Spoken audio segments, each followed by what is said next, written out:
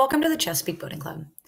Today I'll be showing you how to access your membership manager and make a reservation. You'll begin by clicking on Member Login. This will direct you to the Member Login homepage, in which you will find a notice board, which contains pertinent information from the staff and information about the conditions. You'll be prompted below to put in your username and your password. We're going to use username demo, password demo, and click Submit. You are now inside your membership manager.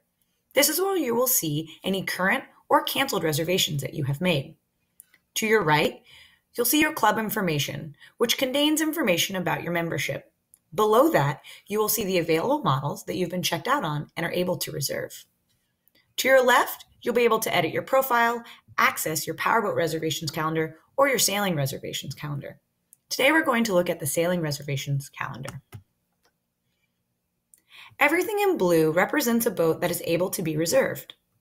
When looking at a particular day, you will see the model of the boat, the slot, and the number of boats of that model that are available appear in parentheses.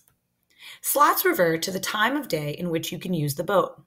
At the top of the screen, you will see the slot times for both the Level 1 and Level 2 sailing memberships.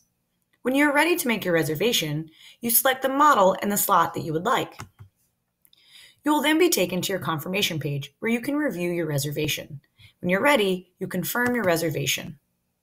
You can now see in green the reservation that you have made for the model and the slot. If you would like to make an extended reservation for any time in the future, you'll go back to your reservation calendar.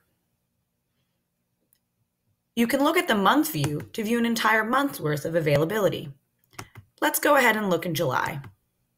I'll want to click redraw my calendar to be able to see all the available boats. I was hoping to go for a five day cruise on the J32. So I'll go ahead and click a Monday. I'll be directed to the same confirmation page. However, now I'm going to select the length I would like to go sailing for. This one was going to be five days. I'll confirm that reservation and be taken back to my membership manager homepage where I can see my five day reservation that I've made for July. Well, that's membership manager, and we're hoping we see you soon.